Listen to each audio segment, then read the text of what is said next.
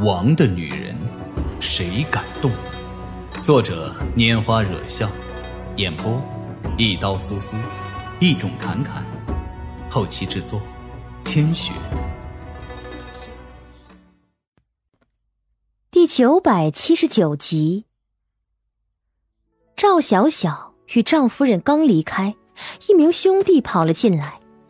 少当家的，有来信，是给九儿小姐的信。给我的信，凤九儿听闻，立即走了过去。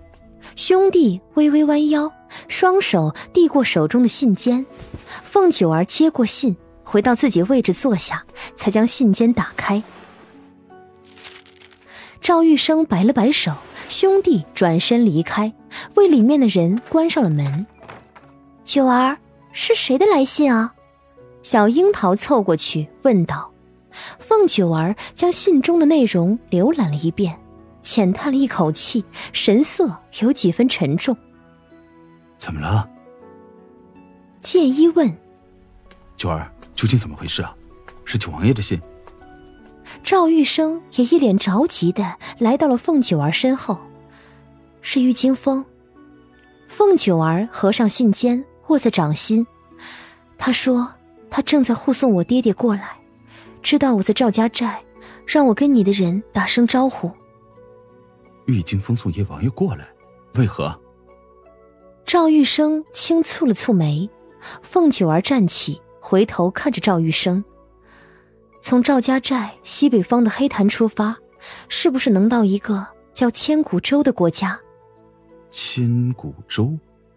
对上凤九儿的目光，赵玉生敛了敛神，才点点头。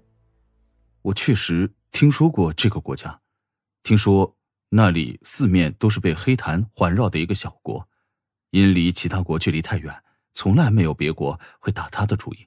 传说千古州，国泰民安，百姓过着自由自在的生活，是一个不错的地方。听说，你没去过吗？呃，未曾。根据书籍记载，从黑潭出发去千古州，比去凤城。还要远一半以上的距离，距离太远了，我还没有尝试去。郁金风的意思是要带叶王爷去千古洲。凤九儿浅叹了一口气，转身再次落座。该是我爹爹自己的意思。战事虽然暂时平定，说不准什么时候又要开战。恐怕是爹爹不想拖累我，才想着要离开。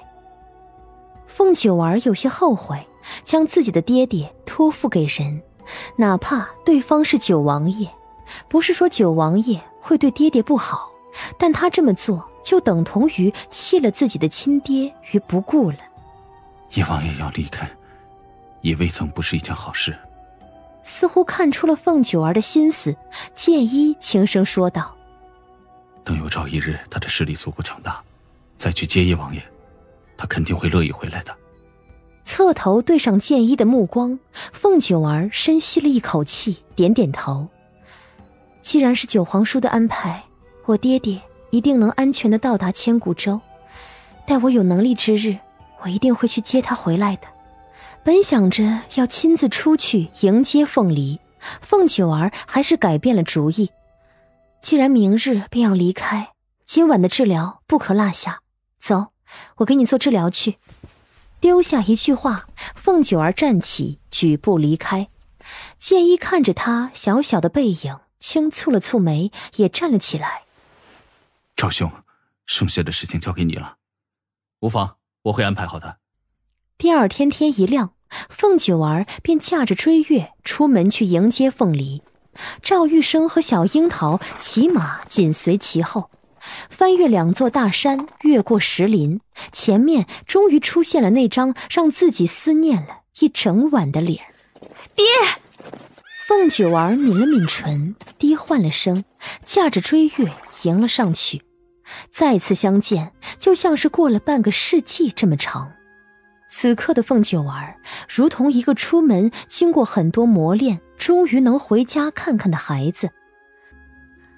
在离凤梨不远的地方，凤九儿轻身一跃，从半空飞过，落在凤梨身后的马背上。爹，他紧紧抱着凤梨，将脑袋埋在他的背门上。为何要离开？九儿会舍不得你的。唯有在凤梨面前，凤九儿才能像个小孩一般耍耍脾气、撒撒娇。今日一别，凤九儿也不知道他们父女要什么时候才能相见。现在的他只能好好的抱着他，再好好抱一会儿。凤九儿的速度很快，凤梨都几乎没有看清楚小丫头的脸，她已经落在了自己身后。高大俊美的男子坐在马背上，僵愣了下，才放开了缰绳，牵上了抱着自己的一双小手。感受到了凤梨的气息变了，凤九儿努了努唇，抬眸看着他的脑后勺：“爹，我要与你同坐一匹马，我还有很多话要跟你说呢。”丢下一句话，凤九儿再次将脑袋埋在凤梨的背上，他的不舍。只会让他更难受，他才不要看见自己爹爹难受呢。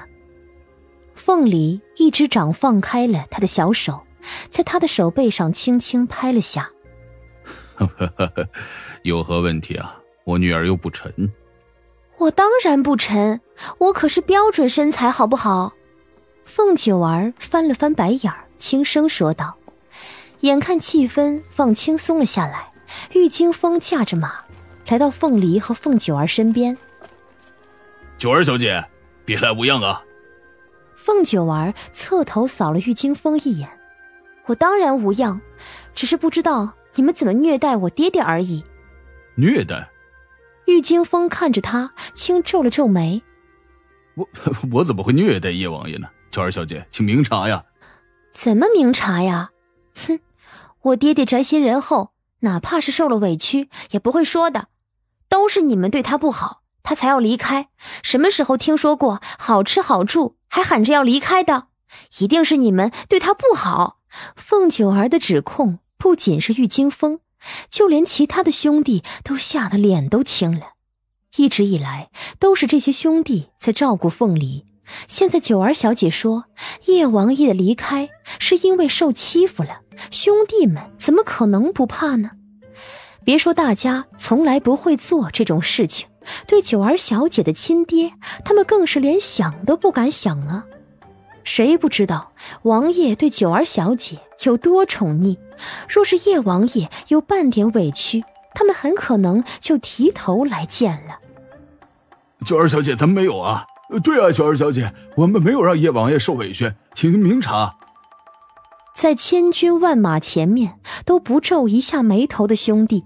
此刻着急的五官都扭曲到一块儿了，骑在马背上的一个铮铮铁汉几乎同时转移视线，一脸可怜兮兮的看着凤梨。要不是凤九儿刚才一句“我爹爹宅心仁厚，受了委屈也不会说”，大家指不定已经开口向凤梨求助了。可惜现在不敢呢。本集播讲完毕。请您继续收听下一集。